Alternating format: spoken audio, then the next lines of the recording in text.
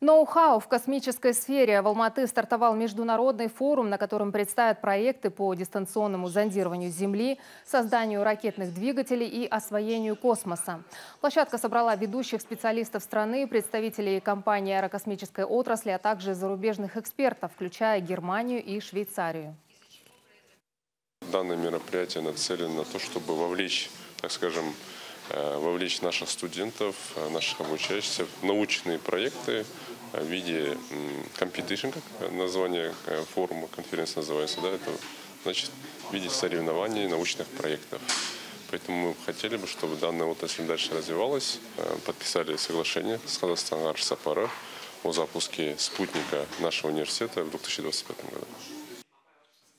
Заявки на участие в форуме подали более 200 желающих со всего Казахстана. В итоге отбор прошли 70 сильнейших команд.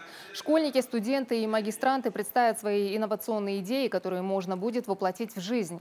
Один из проектов – приложение, распознающее точную классификацию растений без доступа к интернету.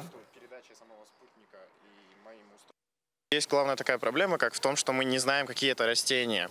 Они могут быть опасными, могут быть занесены в Красную книгу, и человек просто не знает, э, грубо говоря, что с этим растением делать. И с помощью таких приложений сотрудники, которые изучают э, экологию или остальные вещи, они могут узнавать ее точнее.